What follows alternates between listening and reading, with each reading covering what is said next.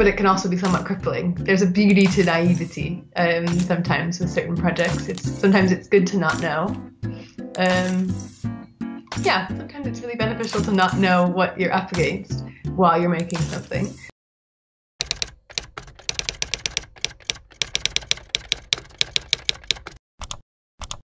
Hi there, I'm Mario. Welcome to another episode of Design Interview 10 Questions, where we interview designers from all around the world. Uh, today, we do not really interview designer, but uh, an expert of design. She's a writer for Eye Magazine, Pulp, and other uh, interesting magazines.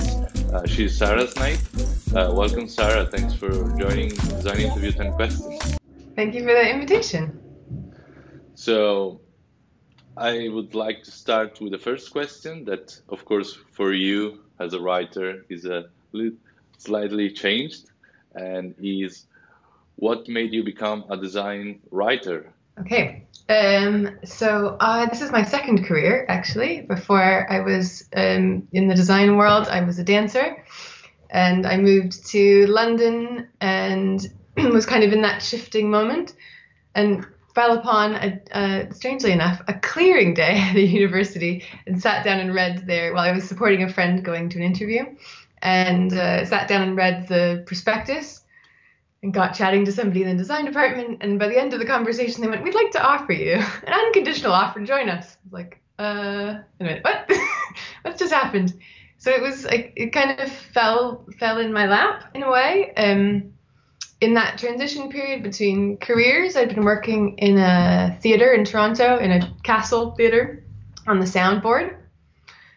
Lots of random jobs in my past, and uh, been doing set dressing for them, and had been doing lots of drawings as plans of the of the sets, but didn't want to be a set designer. So I studied design, um, and then in that sort of part of my education found that illustration and writing were the two things I was most interested in, and I pursued writing. So I studied design writing criticism at London College of Communication, and uh, while I was writing my thesis, uh, John got in contact with me because they were planning the food issue, which ended up being years away. um, and I was writing about um, ind- representations of food in independent food magazines. So, yeah, so that's that's the kind of path from through education and to Eye.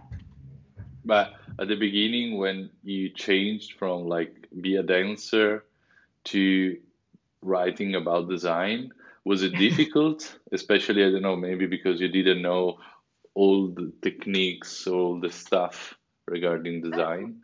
I have a BA in, in design, so in that sense, my education prepared me for the writing aspect. Um, as of, I mean, this isn't, I'm not unique to me, but I have a personality where I I'm really interested in learning more than anything, and and so design writing has given me the opportunity to try to learn everybody else's job in a way.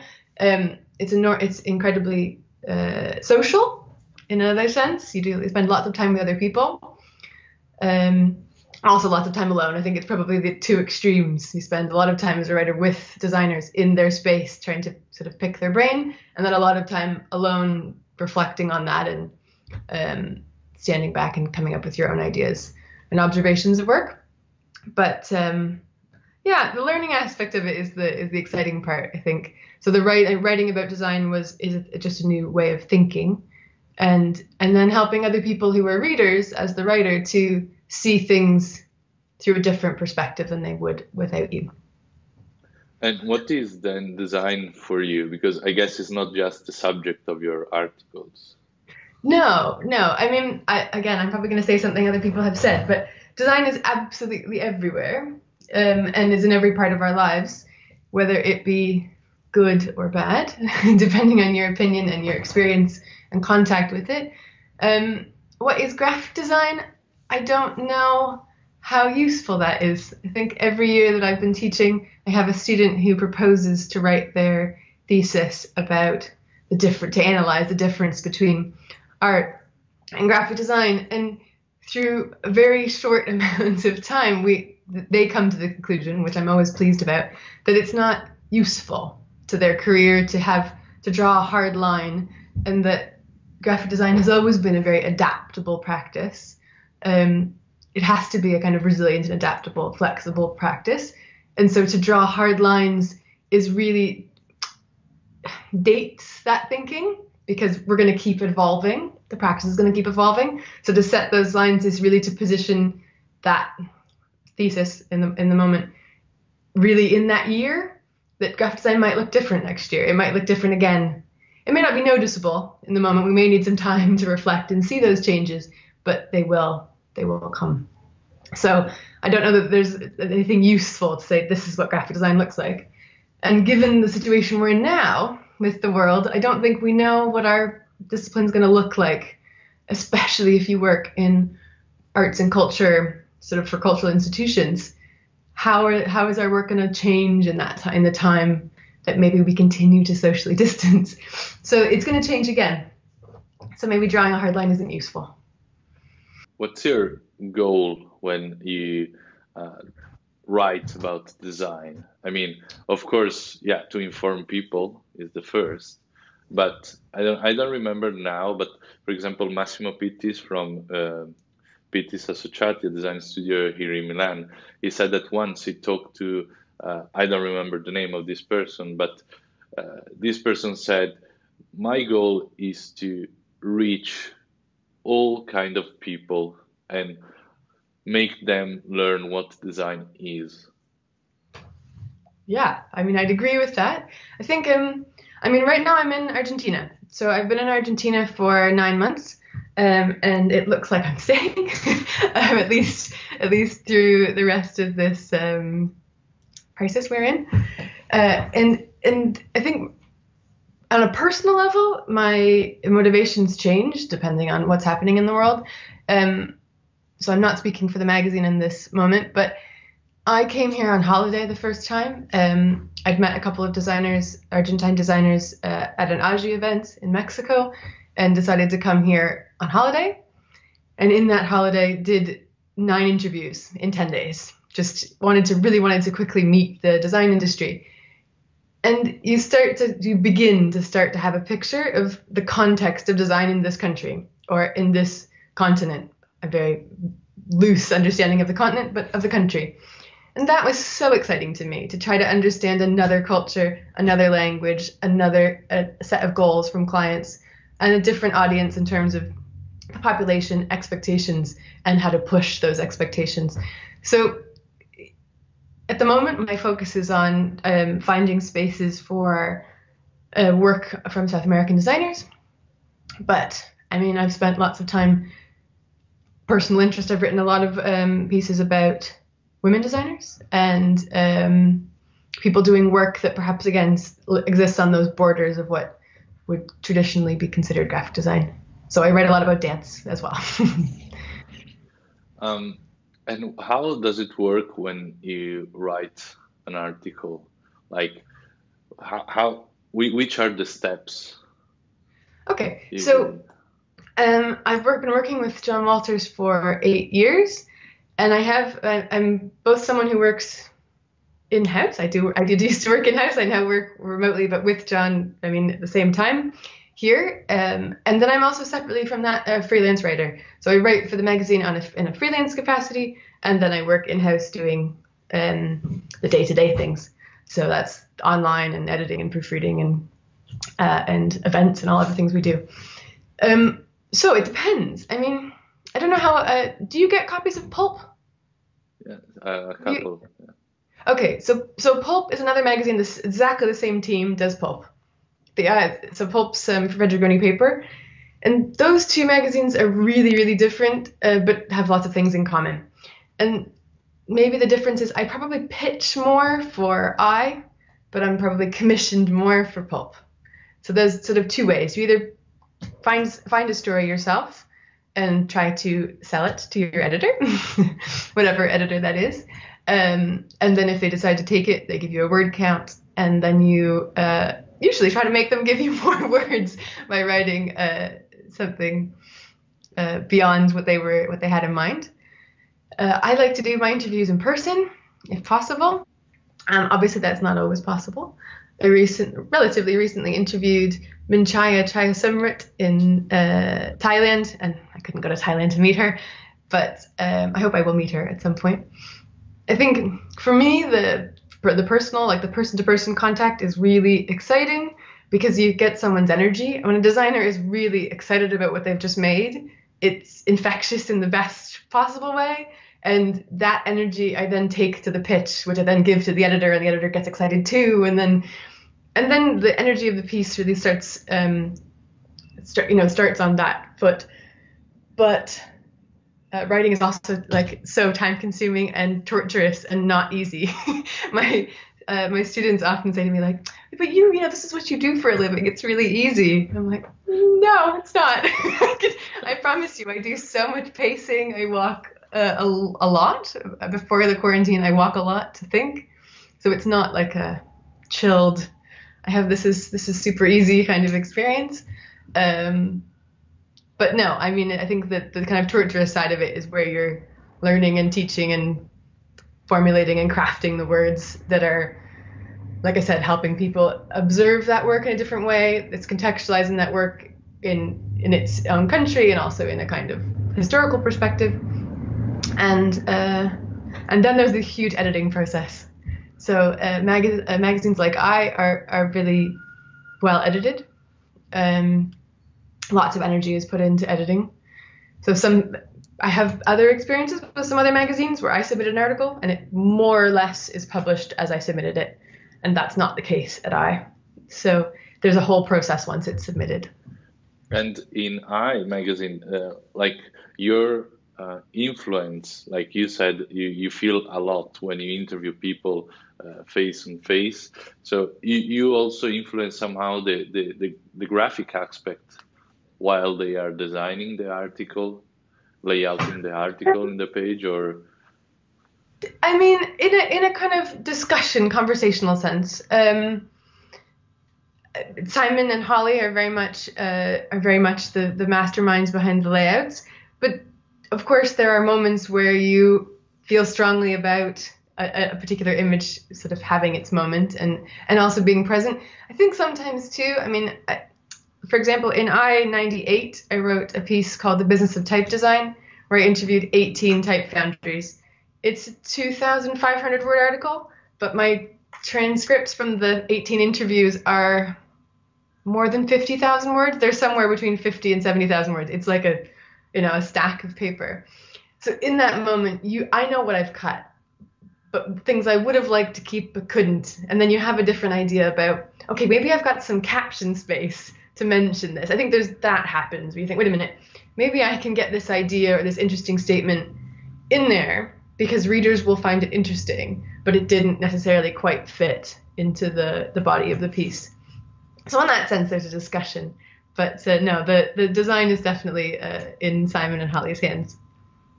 Yeah, sure. But uh, yeah, I think I have the sensation in Eye is a kind of family, and you work all together to make the every issue actually.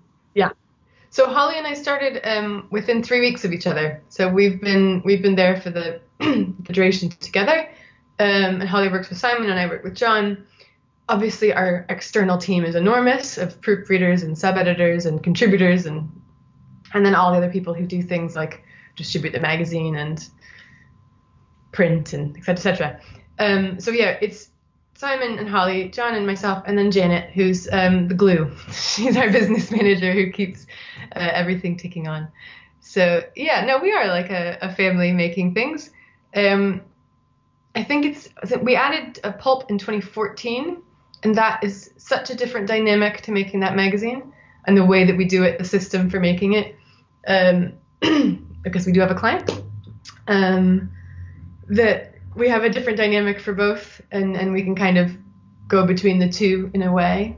Um, and if to some extent, we we have had the opportunity to pitch something for, uh, for example, I pitched something for pulp, and then it's caught attention from Simon and John, and we've thought, oh, maybe we'll do that in the future in Eye. So there is a little bit of like that opportunity to write about someone that perhaps we aren't hearing about as often in other places and think actually this might have a bigger position in the kind of historical setting to put it into into Eye.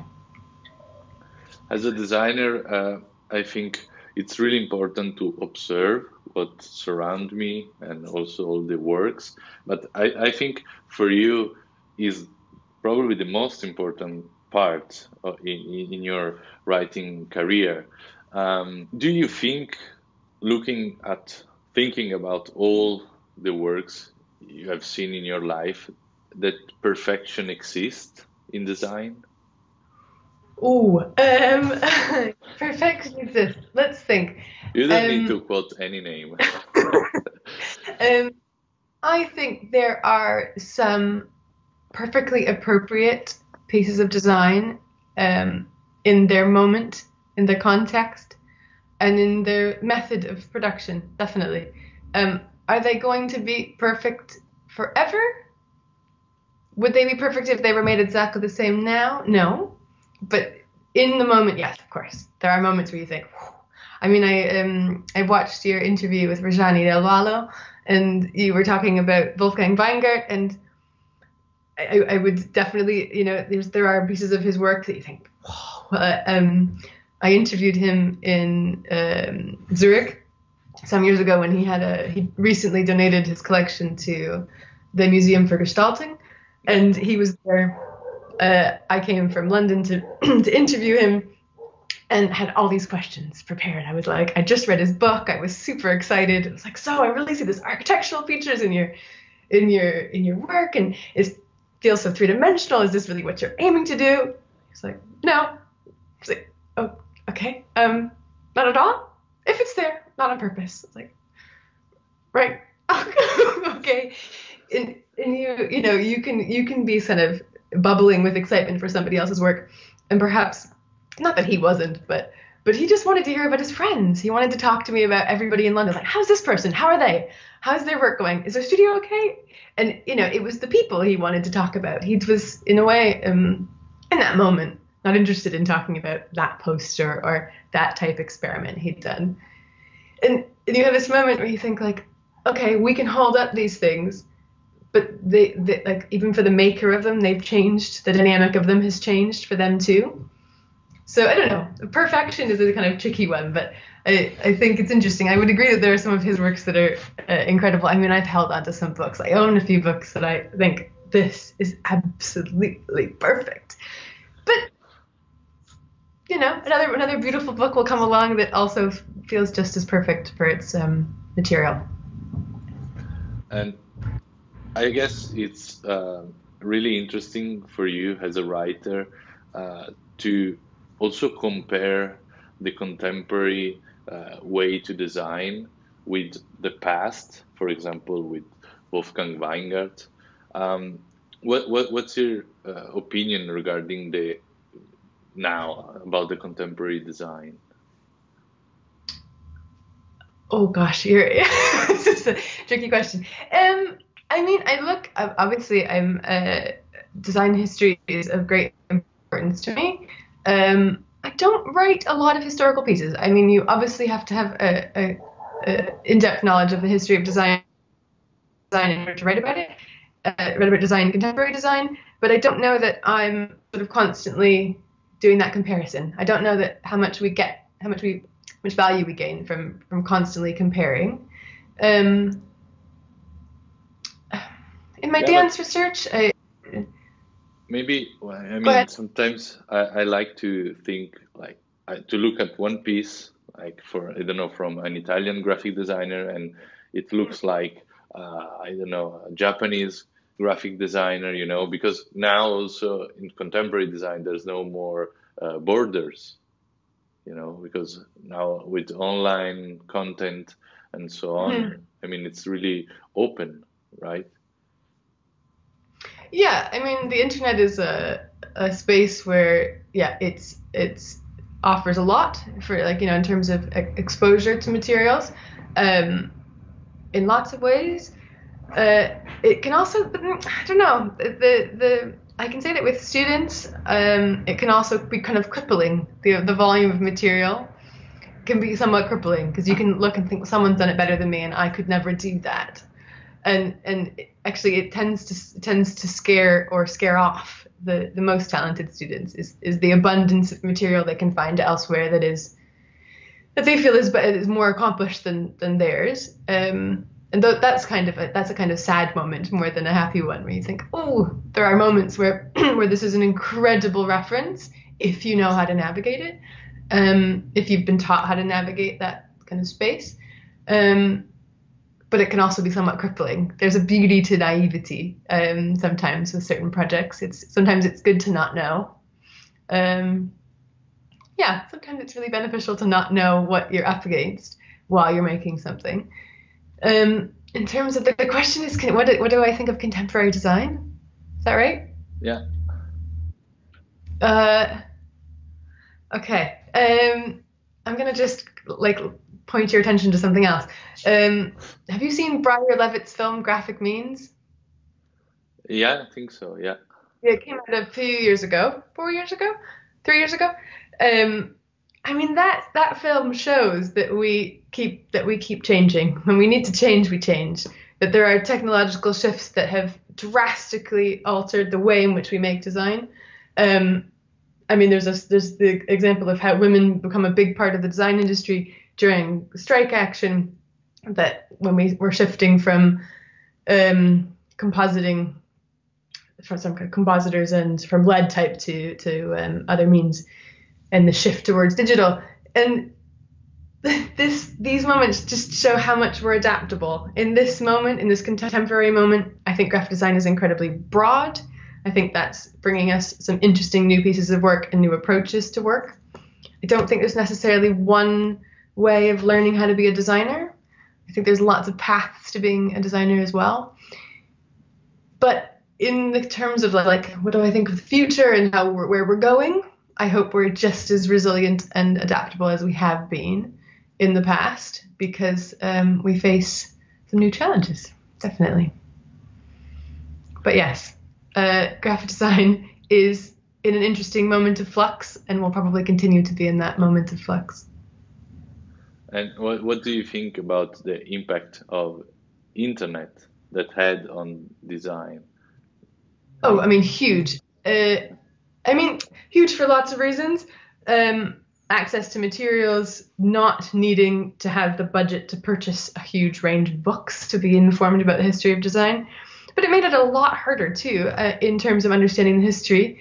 I have, um, again, referencing my students, uh, every year I have, and since 2016, since the American presidential election, I've had lots of students wanting to write about fake news, and that being a starting point for, thes- for theses. And and in that you open a discussion about truth and trust. Where do we to ask a student wh- who do you trust? And what is truth? What is truth is an enormous question, very difficult to answer.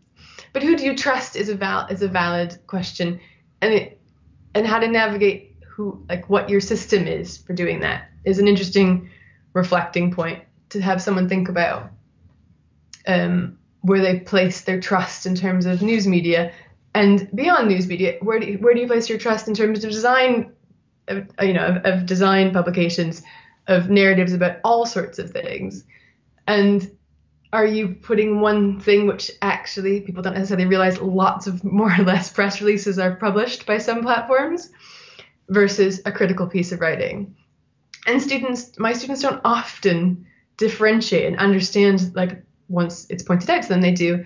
But the difference between a, a kind of piece of marketing and a piece of critical writing.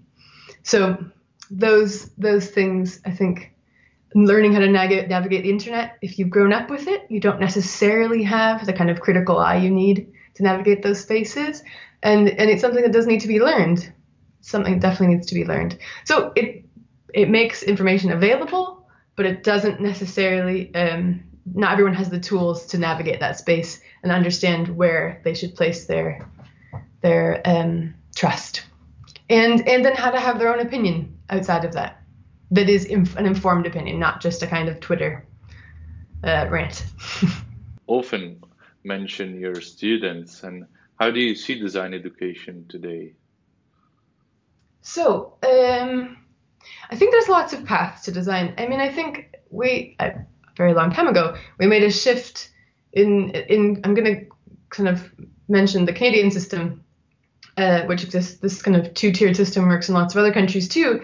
But we went from a vocational and academic path, where graphic design was previously perhaps on a vocational path or was on a vocational path, and shifted across to an academic path.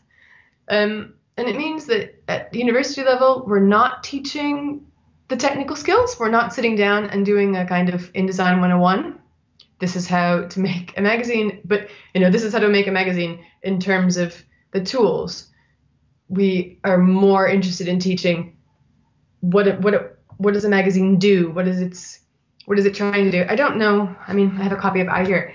It, with Eye, for example, um, I'm not sure that we would, John and I would completely, or Simon, John and I, or Holly would completely agree on this, but I think there's lots of entry points. So this is Eye is a particularly interesting magazine because there are lots of different opportunities and different kinds of reading experiences you can have. So you could flip through and only read the headlines and stand firsts and have an understanding of the content and you could sit down and just read the captions and also be informed at a level. Um, we are very careful to make sure that designers' names and credits are really um, part like are just as much as some duplication in terms of the articles and the captions. So if you only read the captions, you would take away some knowledge. And then separately, you have the articles. And as a unit, it's one big reading experience, but there's lots of little ones that's more the kind of conceptual side of a magazine is what you teach at university, not the technical skills. Um, and more than anything, we're hoping the hope. I, I used to say that the as an educator, you're trying to teach someone to be curious, but uh, I was very rightly. um, I did an interview with Michael Wolff several years ago, and he said, "I don't think you can teach curiosity. You can wake it up," which is a good point. You can wake up yeah. curiosity. So design education's job is to wake up curiosity in someone, to teach them how to see the world through a different lens, to observe it um, perhaps more precisely or differently, to, to witness systems, to understand the complexities of things, to take them at more than surface value. Um, but there are also lots of interesting, I mean, more and more pop up all the time. There are technical, t- in terms of technical skills, spaces like Skillshare and Domestika, where you can take a class from a design hero. In some uh, instances, some you know very very well established uh, voices in design, and and you don't have to do the nine thousand pounds a year kind of um, UK university. But those are really different things. I think it depends on the kind of person and the and the kind of thinker they are, and that the time you spend in university is about making connections learning how to think, giving yourself time to explore, experiment, fail. And doing that outside of an education environment is incredibly difficult. To not having that space, very cliche, but the safe space to to make and fail and be criticized and improve. Um, and then the, what happens the dynamic between students. I am worried about the cost of education in general. I'm very worried about the cost of education, um, limiting talented students from engaging in education. But uh, in Argentina, the education is free. Uh, university education is free. Um, they have enormous class numbers, but um, everybody gets in, and really not everybody finishes. So uh, there's a kind of flipped system here. Most, you know, it's it's most people don't finish, but you end up, the people you do end up with are very talented but you maybe started with 600 and finished with 60 at the end of a four-year degree. So, um, but you know, the the fact that it's free is really quite impressive for me. Another interesting topic for me is like the role of the designer in the future. And I mean, yeah, yeah, please. I'm going to give you an example of somebody I met here because uh, well, because there's lots of interesting things happening here, and you probably don't know her name. And I don't know that it's the model for everybody, but there there are designers have so many skills beyond, as we all know, beyond perhaps what a person on the street would say a graphic designer does versus what graphic designers know they do. And a designer here called Marina Pla, who is a, a graphic designer who does has all of your uh, kind of identity clients and you know a, a wide range of, of clients and uh, a portfolio of work. But uh, in her in her understanding of systems and of the power of visual communication, she has started an initiative called uh, well the English translation is Repair Club, and she has made these open source packs that other countries can pick up and run with. They can use her designs and put in their information and run repair clubs where um, local people who, for example, fix electronics, fix, uh, know how to bind books, know how to sew, come and volunteer their time, and people from the community bring their objects and get them fixed. Learn how to fix them. That's the difference. Learn how to fix them. But she fills these spaces with letterpress posters she's made with local printers here. She invites speakers to come talk about design and um, sustainability. So, yes, you're inviting people to a free event to fix their speaker. In fact, I took uh, this speaker there and fixed it in 15 minutes. I was baffled that a cheap Chinese um, speaker could be taken apart and completely resolved, and that I understood how to fix it within 15 minutes.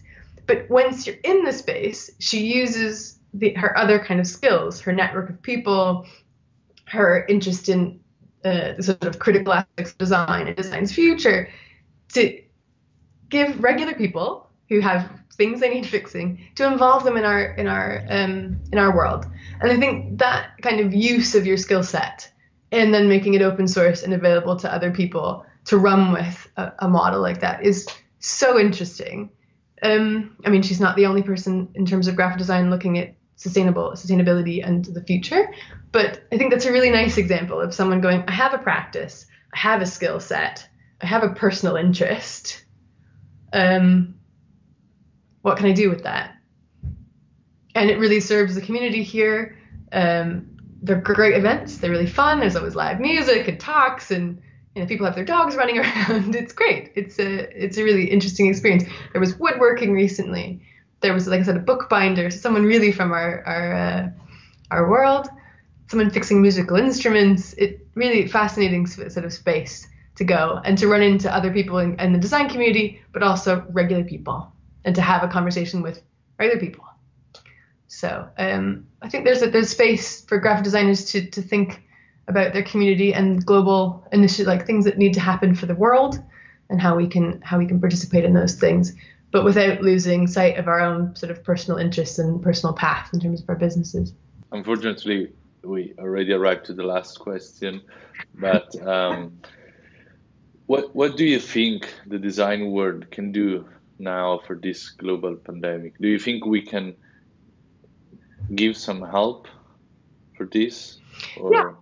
So it's funny. Before I um, before we started talking, I was looking at Eye ninety nine uh, in a kind of studying my own job before we started talking, and it's interesting. So in our uh, in the editorial, John writes. Um, the graphic design rests on a transactional network from client to studio to final output and of course that is uh, how things usually run but maybe we're in a time where we need to flip that model i think there's lots of especially those um, working in the cultural industry we need to help our clients um, adapt.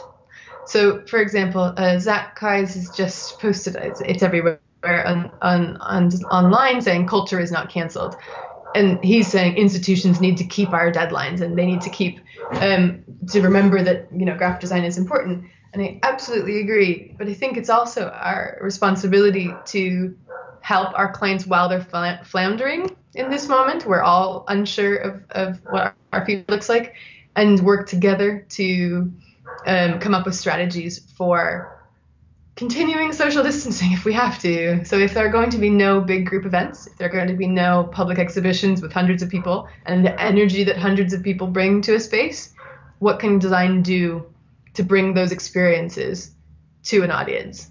And in that in that transaction, in that moment where, for example, an exhibition is brought to an audience, maybe there's an opportunity to reach a new audience that we weren't already reaching. So what can design do to reach new audiences in this moment? um, we have a lot of work to do. we have a lot of work to do, and and hopefully not just. It has to be more than just surviving. We have to hope that we aren't just trying to stay afloat, but that we're able to innovate in this time. um, where possible. But do you think also the, the work we we need to do, as you said now, uh, is also something that will influence what will be afterwards? Yeah, I mean, maybe we can change the way to work and flip, as you said. I mean, um, if I'm being completely honest, uh, while a lot of my job I'm by myself, I'm finding quarantine really difficult. There are moments where I'm like, I just need to go for a walk. Uh, we are on full lockdown and not allowed to uh, be more than a kilometer from our home. And you're supposed to go to the nearest grocery store, the nearest pharmacy, and mine are about half a block away. So I haven't walked in a long time. And you have this moment where you think, like, okay, what can I do with this energy? Um,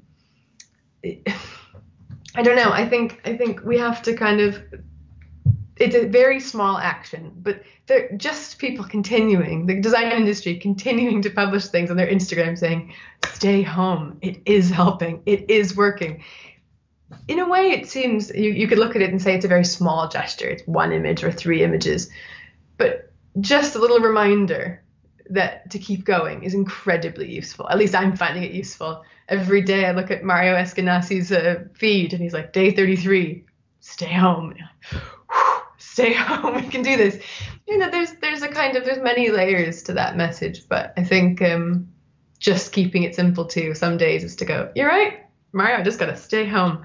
Um, so I don't know. I think there's there's lots of levels that we can participate I think talk series like this is useful, having other people's voices and, and feeling their energy, because I think we're probably all missing the opportunity to chat and feed, have feedback from our office mates and people that we spend time in our studio with or we go for lunch with. Um, I miss those interactions. That's how you, I push an article forward. I'm sure that's how you push your design forward. Like, yeah, I'm working on this project. I'm kind of stuck.